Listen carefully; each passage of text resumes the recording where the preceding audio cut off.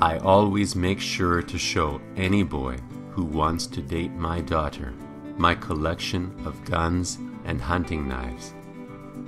I just want to let them know that my little girl is accustomed to living with an armed lunatic who threatens violence even in ordinary social situations.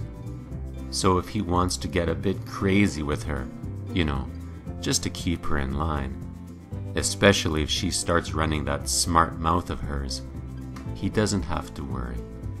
My little pumpkin is used to being around an aggressive, unstable male. I raised my little girl right.